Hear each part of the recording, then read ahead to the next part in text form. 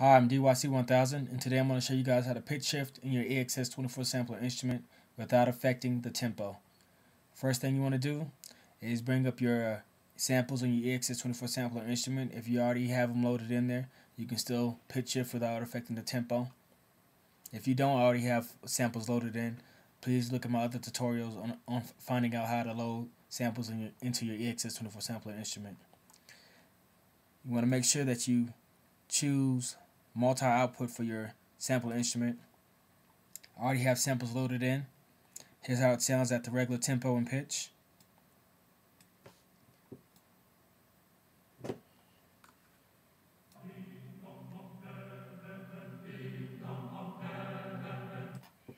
Now, the great thing about the EXS24 sampler instrument is that you can copy and paste your samples on the, on the, onto other keys. Now, make sure you have your zone highlighted, your sample highlighted in the top part of your EXS24 sample instrument. Go to Edit, choose Copy. Then go to Edit again, choose Paste. Now that copies an, uh, an exact copy of that same sample above the previous sample. Just drag that sample onto the key right next to it or wherever key you want to place it on. Same sample, just pitched up a little higher. You can't really tell because it's so close together. But make sure you go to, to where it says playback and unclick the pitch button if it is clicked on. Unclick it. Next thing you want to do is go to where it says mixer and output.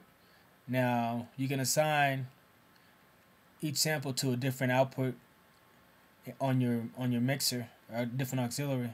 For our second sample, we're going to assign it to 3 and 4. Now if we go to where it says mixer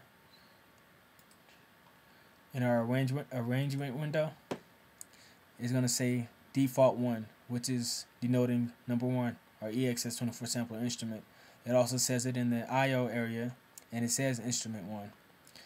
Now if you notice it has the plus sign, which is an indicator that it's a multi-output uh, instrument, which I notified you you had to assign it in the beginning. Click on plus it adds auxiliary 3 and 4 which is the sample which is where the second sample is located on.